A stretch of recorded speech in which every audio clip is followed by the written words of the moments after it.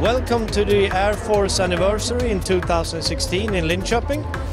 Air defense is not only about aircrafts and helicopters, but also about ground-based air defense.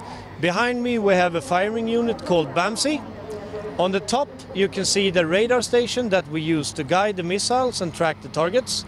A little bit further down you have six ready-to-fire BAMSE missiles with a range of 20 kilometers.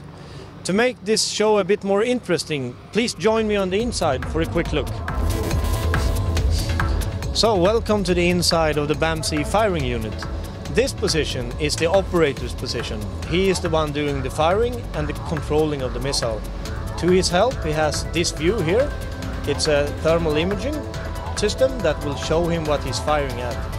When he has found the target and start tracking the target, he fires the system by pressing these two buttons, like this.